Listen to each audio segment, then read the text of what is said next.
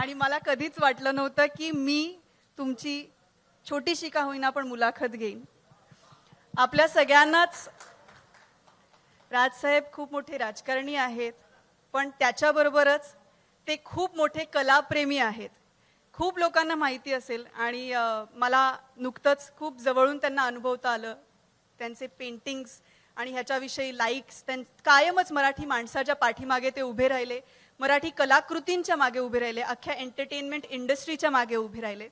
तर राजसाहेब माझा पहिला प्रश्न तुम्हाला असा आहे खूप वेळ घेणार नाही आहे मी की एवढ्या मराठी लोकांच्या एवढ्या मराठी माणसांच्या कायम मागे उभं राहणं हे टायरिंग आहे?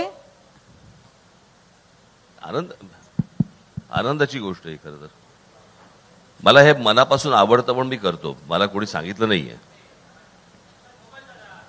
आणि सर्वप्रथम मी तुम्हाला सर्वांना शुभेच्छा देतो. थँक्यू की प्लॅनेट मराठीचे वर्धा पुरकर तुम्ही खेर सर्व तुमची टीम. मला असं वाटतं मी एखाद्या वेब सिरीजच्या लॉन्चला मी पहिल्यांदा येतोय. मी आजपर्यंत कधी गेलो नाही मी. आम्ही ज्या क्षेत्रात आहोत तिकडे कोणाचा थांग लागत नाही. डायरेक्ट अथांगलाच आलो मी. पण मला अशा प्रकारचं बरदा पुरकर यांनी घेतलेलं उचललेलं पाऊल हे मला जास्ती हिमतीचं वाटतं. कारण लॉकडाऊनमध्ये का असेना परंतु अशा प्रकारे ओ टी टी प्लॅटफॉर्म स्वतःचा निर्माण करणं आणि आमचे मित्र पुष्कर श्रोत्री खरं तर पुष्कर माझ्याकडे जेव्हा पहिल्यांदा आले होते त्यावेळेला मला तेव्हा त्यांनी सांगितलं होतं. म्हटलं मराठीमध्ये करणार. कारण आपल्याकडे मराठी घरामध्ये फक्त ओटी भरायची पद्धत आहे. ओटीटी भरायची पद्धतच नाही. तर आणि आज इतक्या कलाकृती या मराठी. एम मराठीवरती आल्यानंतर त्याचा खूप जास्ती आनंदही होतोय आणि अभिमानही वाटतोय. सर मला एक्झॅक्टली हा प्रश्न विचारायचा होता की मराठी माणसांच्या मागे तुम्ही इतके वर्ष उभे आहात सातत्याने याच्या पुढेही असाल याची खात्री आम्हाला सगळ्यांना. आम्हाला असं वाटतं की तुम्हीच आमचे वाली आहात खरं तर. पण प्लॅनेट मराठी सारखा जगातला पहिला वहिला Marathi O T T platform आहे. आणि या प्लॅटफॉर्मवरती अनेक मराठी कलाकृती आहेत. तुमचे पदाधिकारी आहेत अभिजित पानसे सर त्यांची रान बाजार याच ओ टी टीवरती आली. तुमच्या व्यस्त स्केड्यूलमधनं तुम्हाला काही क्षण बघण्याची संधी मिळाली का? मला खरं माझा स्वभाव पाहता मी तसा सिरीजवाला माणूस नाही. एखाद दोन चार मी सिरीज पाहिल्यात पण आता मला अभिजितची रान बाजार आणि ही तर बावीस लागेल मला. मला सुटकाच नाही त्यातनं मला. पण मी तसा सिरीजवाला नाही आहे मी मी फिल्मवाला आहे. सो दोन अडीच तासात तीन तासात काय सांगायचं ते सांगा. पण आमची सिरीज सर फक्त साडेतीन तासाची सहा एपिसोड्स फक्त. हा पाहिन ना मी. मी कुठे नाही म्हटलं. मी पाहिन ते मी. पण तुम्ही म्हणाल की पाठीमागे उभा राहतो मराठी माणसाच्या मी खरंच सांगतो एक मी काय एकटा आहे अशातला भाग नाही. आज अशोक सरांसारखी पण व्यक्ती आहे गेली. इतकी वर्ष आज इंडस्ट्रीमध्ये आहे. आपल्याला काय वाटतं ते एकटे काम करतात? आज त्यांनी किती जणांना आशीर्वाद दिले असतील किती जणांचे हात धरले असतील किती जणांना वरती काढले असतील? मला असं वाटतं प्रत्येक जण आपापल्या परीने काम करत असतो. मला जे माझ्या घरामध्ये मला संस्कार मिळाले मग ते आजोबांपासून असतील माझ्या काकांपासून असतील वडिलांपासून असतील आणि मी स्वतः मी अत्यंत हार्डकोर कट्टर मराठी आहे. त्याच्यामुळे मला ज्या ज्या वेळेला जी जी गोष्ट शक्य असेल त्यावेळेला मी तिथे उभा राहतो. आणि मी काही कोणावरती उपकार नाही करते. हा मला असं वाटतं माझं काम आहे ते कर कर्तव्य ते मी पार पाडतो. जेवढं शक्य असेल तेवढं. हा तुमचा मोठेपण आहे सर. दुसरा प्रश्न सर.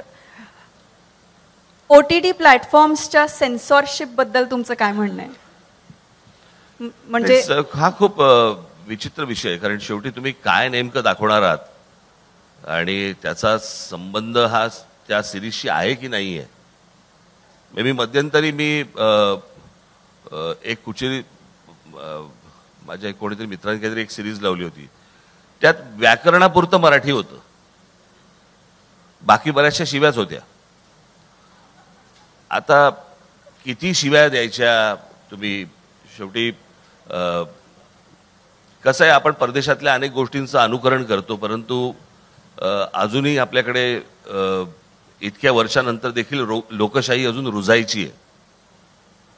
त्याच्यामुळे आपण तो मोकळेपणा आणला पाहिजे नाही अशातला भाग नाही. मी कुठच्या बंधनामध्ये रमणारा माणूस नाही. त्याच्यामुळे बंधनं आणून नाही. पण जर समजा गरज असेल आवश्यकता असेल तिकडे कुठची बंधनं येता कामा नयेत. म्हणजे त्या सिरीजची किंवा त्या चित्रपटाची जर ती गरज असेल तर मला असं वाटतं की कुठची बंधनं असता कामा नयेत. आली आहेत का कोणाला? अजून आली नाही. हां सांगा आली काय? नाहीत पण कळवा. तर अ, तुम्हाला आतापर्यंत आवडलेली वेब सिरीज कुठल्याही प्लॅटफॉर्मवरची अ, अशी तुम्ही मी- पाहिली आहेत का? आणि आवडलेली कोणती आहे? मी किंवा आत्ताच पाहिलेली एक अ, माझ्या मते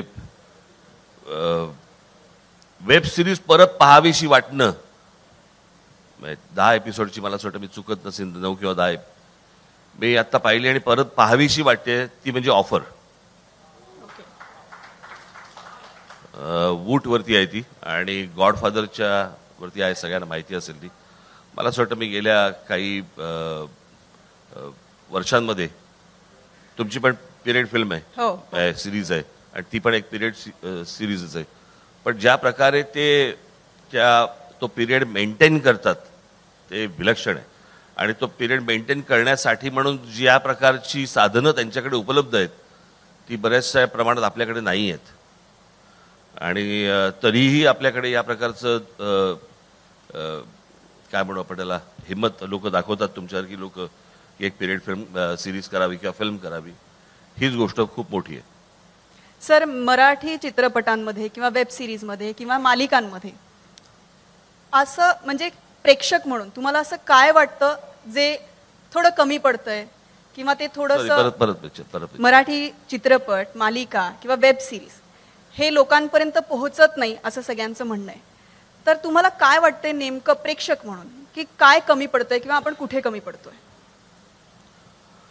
हा, त्याबद्दल काय मी फार तज्ज्ञ नाही आहे परंतु मी मी थोडासा माझा चित्रपटांविषयीचा एक थोडा एक अंदाज देऊन ठेवतो तुम्हाला. माझ्या घरामध्ये एक मशीन आहे ड्रोबो नावाचं. आणि त्यातल्या सर्व फिल्म्स मी पाहिलेल्या आहेत. त्या ड्रोबो मशीनमध्ये जवळपास एक साडेआठ ते पावणे नऊ हजार फिल्म्स आहेत. आणि माझ्या आयुष्याचं माझं मी राजकारणामध्ये खूप अपघाताने आलो. माझं फर्स्ट पॅशन हे फिल्म मेकिंग आहे. आणि त्याच्यामुळे मी चित्रपट त्या दृष्टिकोनातनं पाहतो. मला बरेचसे मराठी चित्रपट मी पाहत असताना मला खूप घाई गडबडीत केल्यासारखे वाटतात. आणि आपल्याला आता पटकन चित्रपट करायचा आहे. त्याच्यामध्ये बऱ्याच प्रमाणामध्ये स्क्रीनप्ले नावाची काही गोष्टच नसते. आणि बऱ्याच काही प्रमाणात काही त्रुटी असतात. पण हे सरसकट मला म्हणता येत नाही. असे अनेक चित्रपट आहेत की ज्याच्यामध्ये उत्तम कास्टिंगही उत्तम आहे अभिनय उत्तम आहे बांधणी उत्तम आहे चित्रपटांची. असेही अनेक चित्रपट आत्ता आपल्याकडे आले.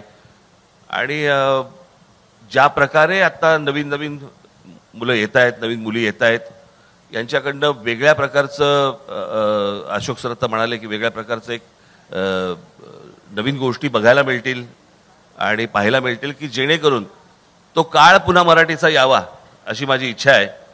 की ज्या वेळेला अमराठी लोक येऊन मराठी नाटकांना बसायचे आणि हिंदी चित्रपट काढायचे. तो काळ पुन्हा यावा अशी माझी खरंच इच्छा आहे. क्या बात है सर. मला सांगा की तुम्ही आत्ता म्हणाला की तुमचं फर्स्ट लव्ह हे डिरेक्शन आहे. सो म्हणजे फिल्म मेकिंग आहे. तर फिल्म मेकिंग म्हणजे डिरेक्शन करताना कधी पुढे तुम्ही आम्हाला दिसणार आहात? मी माहीत नाही मला. हे राजकारण आणि चित्रपट ह्या दोन खूप मोठ्या गोष्टी आहेत. आणि ते दोन दगडांवरती पाय ठेवून चाललं. बघू मला काय आपल्या देशामधला प्रॉब्लेम असा आहे आपल्या देशामध्ये निवडणुका हा एक धंदा आहे. आणि त्या संपतच नाहीत. मग ही झाली की ती ती झाली की ती ती झाली की ती. त्याच्यामुळे मला ह्या विषयाकडे लक्ष द्यायला वेळ द्यायला तसा जर मला वेळ मिळाला तर मी निश्चित करीन. माझ्या आता एक डोक्यामध्ये सुरू आहेत तर मला. पण आत्ताच इतके शिवाजी महाराजांवरती इतक्या फिल्म्स येऊन गेल्यात की मला आत्ता हिंमत होत नाही. मला त्याला हात लावायची. पण मी कॉलेजमध्ये असताना जेव्हा मी गांधी चित्रपट पाहत असे त्यावेळेला मला वाटायचं की महाराजांवरती इतकी मोठी फिल्म झाली पाहिजे. आणि माझं आत्ता त्याच्यावरती काम सुरू आहे. वाव. आणि मला असं वाटतं ती तीन भागात ती फिल्म येईल. क्या बात है. ही एक्सक्लुझिव्ह न्यूज आहे आमच्या सगळ्यांसाठीच. सर शेवटचा प्रश्न. कधी निघताय?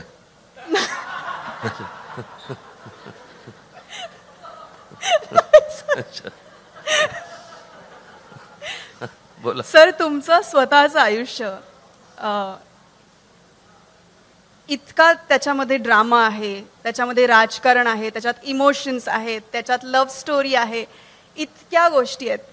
तुमच्यावरती जर का बायोपिक निघाला तर तुम्हाला तुमच्या बायोपिकमध्ये तुमचं काम कोणी केलेलं पाहायला आवडेल. मला मला घरी जाऊन पहिला बायको पिकला विचारायला लागेल.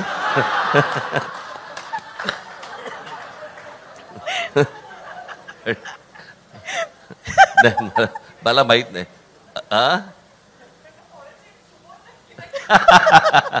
नाही मला मला मा- काय आहे मी तुम्हाला एक साधी गोष्ट सांगतो.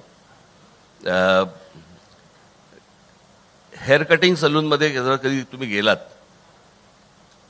मी बऱ्याचदा असा पूर्वी आता आता फार जाणं होत नाही माझं पण पूर्वी मी जेव्हा जात असे त्यावेळेला मी बसल्यानंतर मी साई बाजूचे जे केस कापायचे ना त्यांच्याकडे माझं लक्ष असायचं. आणि ते जे आरशात पाहायचे तर त्यांच्या स्वतःच्या दिसण्याबद्दलच्या काही कल्पना असतात. की मी असा दिसतो मी असा दिसत असीन असं त्यांना स्वतःला एक वाटत असतं. तर त्याच्यामुळे हे प्रत्येकाला असतं त्याच्यामुळे मी कसा दिसतो हे मला तसं माहिती नाही आरसा सोडला तर. तर त्याच्यामुळे ती गोष्ट कोण करू शकेल मला कल्पना नाही. पण तुम्हाला आवडेल का तुमच्यावरती बायोपिक झालेला? किंवा तुम्ही आम्हाला त्याची संधी द्याल का? नाही, काही असेल तर करा ना. उगाच कोणा म्हणजे काही असेल तर करण्यात अर्थ आहे ना. पण सगळं सर एका बायोपिकमध्ये जे गरजेचं असतं ते सगळं तुमच्या आयुष्यात आहे असं आम्हाला वाटतं. म्हणजे हो? मला वाटतं. लव्ह स्टोरी कुठून काढलीत मला माहिती नाही मला मगाची तुम्ही. अहो बायको बरोबरचीच लव्ह स्टोरी. तेवढं. बरं तेच होतं. मला म्हटलं असं कुठची गोष्ट जी मला माहीत नाही जी तुम्हाला माहिती बरं बरं. नाही पण मला माहिती नाही. म्हणजे, हल्ली सध्या बायोपिकचं भयंकर पेव फुटलेलं आहे. बायोपिक मी जी बायोपिक आजपर्यंत पाहिलेली बेस्ट बायोपिक आहे ती मायामध्ये ॲटनबरोनची गांधी आहे. आणि भारतामध्ये जर समजा पुन्हा जर चांगली भारतातल्या कुठच्या कॅरेक्टरवरती जर चांगली बायोपिक कोणाची जर होऊ शकत असेल ज्याला आपण आयुष्यातले ज्याला रोलर कोस्टर राईड ज्याला म्हणतो की ज्याला पाहायला आपल्याला आवडेल ते मला असं वाटतं एकच कॅरेक्टर आहे ते म्हणजे इंदिरा गांधी. कारण इंदिरा गांधींचं संपूर्ण जर समजा तुम्ही काळ पाहिलात तर ती रोलर कोस्टर राईड आहे. आणि ते एक बायोपिक अशी आहे की जी इंटरेस्टिंग होऊ शकते. बाकीचे मला माहिती नाही आहे एखादा माणूस मला आवडला म्हणून मी त्याच्यावरती बायोपिक केली. म्हणजे गांधींच्या नंतर रिचर्ड ॲटन बरोबर चॅपलिन केली होती. ती जवळपास गुरुवारी पडली म्हणजे शुक्रवारीच्या ऐवजी. नाही खरं सांगतो मी खोटं नाही सांगत. याचं कारण चॅपलिनच्या फिल्म्स मला बघायला आवडतील. मला चॅपलिनच्या आयुष्यात काय रस आहे? पण ती केली आहे त्यातले काही काही सीन अप्रतिम आहेत कारण ते शेवटी ॲटन बरोबर आहेत ते. पण बायोपिक करताना मला असं वाटतं निवड माणसाची ही योग्य होणं गरजेचं आहे असं मला नक्की वाटतं. कारण म्हणजे कोणालाही कोणाहीवरती बायोपिक करून त्याच्यामुळे मी माझं काही मला माहिती नाही. मग माझा प्रश्न बरोबर होता ना? काय? निवड माणसाची करेक्ट असायला लागते. हो हो हो हो. म- ठीक आहे. राजसाहेब राजसाहेब मी मी. एक प्रश्न मला खरंच मनापासून तुम्हाला विचारावं असं वाटतोय. ओळखीचा फायदा किंवा गैरफायदा घेऊन विचारतोय मी. मराठी वेबसिरीज करत असताना जसं त्याच्यामध्ये आता बंधनं नसली पाहिजेत जिथे आवश्यक आहे तिथेच तो आपण त्याला मसाला म्हणूया तो असला पाहिजे. ह्या सगळ्या गोष्टी लक्षात घेत असताना अनेकदा मराठी वेब सिरीजमध्ये हिंदी का बोललं जात आहे असं आम्हाला प्रेक्षकांकडनं विचारणं होते. आम्ही आमच्या परीने जे उत्तर देतो तेव्हा ते असं असतं की मला रोज सगळी मराठी माणसंच भेटतील असा मी आग्रह धरत नाही आणि भेटतही नाहीत. मला अमराठी माणसं भेटली तर त्यांच्याशी मी अ हिंदीतनं त्याच्या त्याला कळेल त्या भाषेतनं संवाद साधतो. तर मराठी वेबसिरीजमध्ये अमराठी कॅरेक्टर्स असल्याबद्दल प्रेक्षक कधी कधी आरडाओरडा करतात. तर त्यांना आपण कसं उत्तर द्यावं? मी काय उत्तर देऊ मी अं, तो मराठी कॅरेक्टर जर समजा मराठी सिरीजमध्ये येऊन जर समजा मराठी बोलणार असेल तर मला असं वाटतं जास्ती चांगली गोष्ट आहे ती. मराठी चि- चित्रपटात किंवा सिरीजमध्ये येऊन मराठी माणूस येऊन हिंदीत बोलणार असेल तर घेण्यात काय पॉईंट आहे? म्हणजे आपल्याकडे काही कलाकार कमी आहेत का? की त्या एकट्याच्या माण त्या एकट्या माणसामुळे ती सिरीज चालणार आहे असंही काही नाही आहे आणि आपण अमराठी प्रेक्षकांचा जर विचार केला जर समजा माझे जेवढे अमराठी मित्र आहेत अगदी राजकुमार हिरानीपासून तुम्ही सगळेजण घ्या ह्यांना आमचे जे विनोद शेअर होतात ते जवळपास नव्वद टक्के मराठीत होतात. आणि त्यांना मराठी येतं. आपल्याला वाटतं त्यांना येत नाही. शेवटी ते इथेच वाढलेले असतात इथेच मोठे झालेले असतात. त्यांना मराठी येतं आणि त्या गोष्टी मला असं वाटतं जेवढ्या आपण टाळता येतील. या म्हणजे हा जो कडवटपणा आहे ना म्हणजे मला असं वाटतं हा आपण दाक्षिणात्यांकडनं घेणं गरजेचं आहे. ते जसे ठाम राहतात त्यांच्या गोष्टींवरती तसं आपण ठाम राहणं आवश्यक आहे.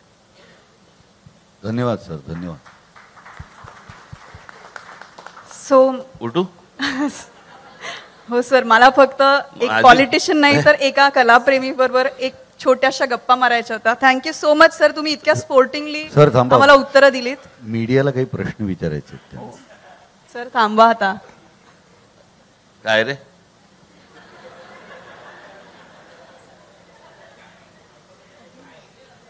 कोणाला काही प्रश्न विच नाही ना? थँक्यू सो मच काय विचारतील ते?